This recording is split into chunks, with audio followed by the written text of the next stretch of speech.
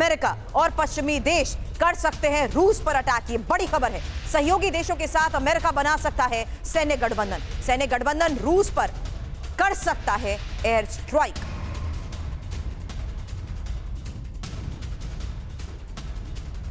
तो बड़ी खबर आई है, अमेरिका और सहयोगी देशों के सैन्य गठबंधन को लेकर। और सैन्य गठबंधन क्यों किया जा रहा है? क्योंकि सैन्य गठबंधन रूस पर कर सकता है एयर स्ट्राइक। रूस और यूएस के तनावपूर्ण स्थिति के बीच ये खबर कैसे बड़ी है? और क्यों हम कह रहे हैं तीसरे विश्व युद्ध का काउंटडाउन इन्फॉर्मेशन वॉल का रुख करते हुए यही इन्फॉर्मेशन अब आपके सामने रखेंगे, क्योंकि बड़ी खबर सामने आई है जहाँ ये साफ़ हो रहा है कि किस तरीके से America, Europe joint operation force को करेंगे तैयार। इंपॉर्टेंट इसमें यह भी है कि रूस के सैन्य ठिकानों पर फाइटर जेट से हमले की योजना को लेकर खबर आई है। मिसाइलों से रूस की रणनीतिक ठिकानों को ध्वस्त करने की योजना है। साथ ही यूरोप में रूस के बढ़ते दखल से पश्चिमी देशों की जिस तरीके से चिंता बढ़ती जा रही है, खबर यह है अमेरिका, यूरोप, रूस को पूरी तरीके से तबाह करने का प्लान बना रहे हैं। रूस और चीन का गठजोड़ तोड़ने की क्या ये अमेरिका की कोशिश है? इस बारे में भी सीधा सवाल होगा हमारे सहयोगी थे, लेकिन इस बीच संभावित अमेरिकी खतरे पर रूस में भी चर्चा को लेकर खबर आई है। रूसी रणनीतिकार भी अमेरिकी हमले की आशंका जता रहे हैं और यूक्रेन के बहाने रूस पर पश्चिमी हमले की आशंका है। आपको बता दें, रूस जर्मनी के खिलाफ भी रणनीति बनाने में जुटा हुआ है। इन तमाम आशंकाओं के बीच आखिर किस तरीके से अमेरिका, रूस, दुश्मनी के नया चैप्टर खुल रहा है, उसी बारे में इंफॉर्मेशन आपके सामने रखते हैं, जहाँ देखिए किस तरीके से अमेरिकी थिंक टैंक रूस को सबसे बड़ा दुश्मन मानते हैं। यूक्रेन युद्ध के बाद रूस ने यूरोप पर दबाव बनाया है। पुतिन की परमाणु बॉम्ब की धमकी के बाद समीकरण बदल गए हैं और यूरोप पर रूसी दबाव अमेरिकी हितों के खिलाफ है। हालाँकि यूरोप को सुरक्षित रखने के लिए अमेरिका रूस को टारगेट कर सकता है। अमेरिका का रूस पर हमला विश्व युद्ध कैसे भड़काएगा। मेरे सहयोगी मनीष झा इस वक्त हमें ज्वाइन कर चुके हैं। मनीष ये वाकई चौंकाने वाली खबर है और हैरानी इस बात की कि रूस खुद इस बात से वाकिफ है कि अमेरिका किस कदम पर आगे बढ़ने की कोशिश में है। आ, बिल्कुल देखिए ये दावा खुद रूस के रक्षा मंत्रालय की तरफ़ से किया गया है। रूस का जो रक्षा मंत्रालय का स्ट्रेटेजिक मामलों का ऑफिशियल मैगजीन है, उसमें इस पर पूरा डिस्कस किया गया है कि अमेरिका एक अपने सहयोगी देशों के साथ जॉइंट ऑपरेशनल फोर्स बना सकता है और उससे अचानक और बहुत तेज ग्लोबल स्ट्राइक कर सकता है रूस के खिलाफ। जिसमें फाइटर जेट का इस्तेमाल हो सकता है और तमाम पश्चिमी देश अपने अपने मिसाइलों का इस्तेमाल कर सकते हैं। रूस के रक्षा मंत्रालय का यह भी कहना है कि इस तरह के स्ट्राइक के ज़रिए कोशिश होगी कि रूस के जो अहम सैन्य ठिकाने हैं, उसको एक ही बार में, एक शॉट में तबाह कर दिया जाए। अब अगर आप देखें कि क्या ये पॉसिबल है तो आप कंपेयर करिए मिडिल ईस्ट में जो हुती विद्रोहियों के खिलाफ। अभी अमेरिका और सहयोगी देश मिलकर ऑपरेशनल ऑपरेशन प्रोस्पेरिटी गार्डियन चला रहे हैं। कुल मिलाकर ये उसी तरह के एक गठबंधन की बात है क्योंकि अगर नाटो बनाम रूस होता है तो फिर नाटो के तीस से अधिक देश एक गो मजबूरी होगी कि सभी देशों को आकर लड़ना होगा। लेकिन जब आप ज्वाइंट ऑपरेशनल फोर्स जैसा गठबंधन बनाते हैं तो फिर अमेरिका के साथ दो चार देश ही होंगे और वो सब मिलकर यूक्रेन में सीधे सीधे पार्टिसिपेट करेंगे।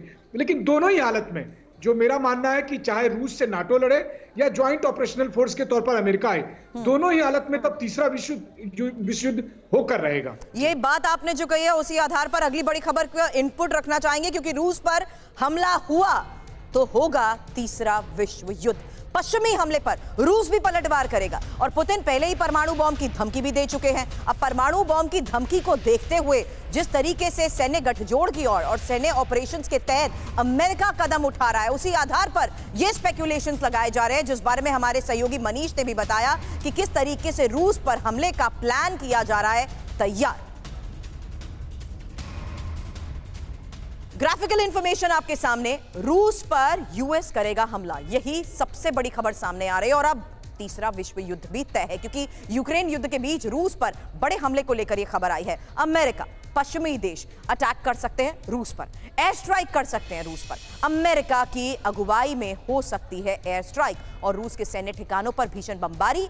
फाइटर जेट और मिसाइलों से हमले भी मुमकिन है। हालाँकि हमले के लिए नया सैनिक संगठन जिस तरीके से बनाया जा रहा है या बन सकता है, सैन्य संगठन में अमेरिका और सहयोगी देश ज्वाइंट फोर्सेस बनाकर एक साथ हमलों को अंजाम दे सकते हैं। इस बीच आपको हम ये भी बता देते हैं, विश्व युद्ध अगर हुआ तो कितना, कितने देश अमेरिका और कितने देश रूस के साथ खड़े हैं। ये इंफॉर्मेशन इसलिए क्योंकि जिस लिहाज पर अपने सहयोगी के साथ हम चर्चा कर रहे थे, विश्व युद्ध वर्ल्ड वॉर थ्री के काउंटडाउन की शुरुआत इसे क्यों माना जा रहा है और कौन किसके साथ है? ये इंफॉर्मेशन देख लीजिए। अमेरिका के साथ कौन कौन है? कनाडा जर्मनी ब्रिटेन और साथ ही फ्रांस जापान इटली और वहीं रूस के साथ देखिए। बेलारूस चीन ईरान नॉर्थ कोरिया और आर्मेनिया और इस लिहाज से भी हम ये चर्चा करते आए हैं कि किस तरीके से चीन लगातार रूस को सहयोग करता आ रहा है। ईरान का बड़ा सहयोग है नॉर्थ कोरिया का ये जो बड़ा सहयोग है, ये वाकई पश्चिमी देशों की चिंता बढ़ाता आया है कि किस तरीके से हर लिहाज से ये टेक्नोलॉजी शेयर करते हुए अपनी सैन्य ताकत को मनीष बढ़ा चुके हैं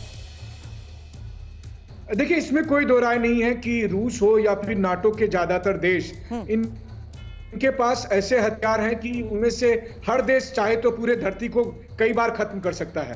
तो वैसी स्थिति में अगर रूस और नाटो की लड़ाई होती है या रूस और तथाकथित इस ज्वाइंट ऑपरेशनल फोर्स की लड़ाई होती है तो फिर वैसी स्थिति में दोनों में से कोई पक्ष हारना नहीं चाहेगा। देखिए अभी स्थिति क्या है? रूस और यूक्रेन की दो साल से जंग चल रही है।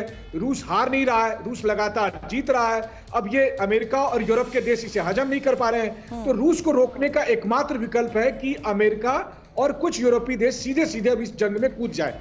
पिछले दिनों हमने देखा कि फ्रांस के राष्ट्रपति ने कहा भी Exactly. कि यूक्रेन में नाटो सैनिकों को उतारा जाए।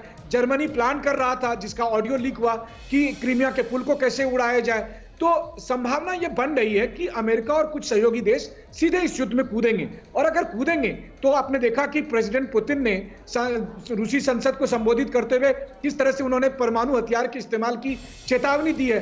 तो दोनों पक्ष परमाणु संपन्न है विनाश होना तय है ये तो बात है। ही।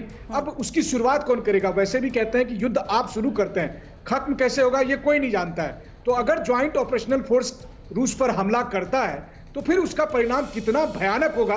और क्या ये केवल रूस यूक्रेन या यूरोप तक सीमित होगा या पूरी दुनिया इसकी चपेट में आएगी? ये बहुत ही बड़ा सवाल है पूरी दुनिया यूरोप और नेटो देश जिस तरीके से इसकी चपेट में आएँगे उस आधार पर रूस के खतरे को ये दरकिनार भी नहीं करते हैं।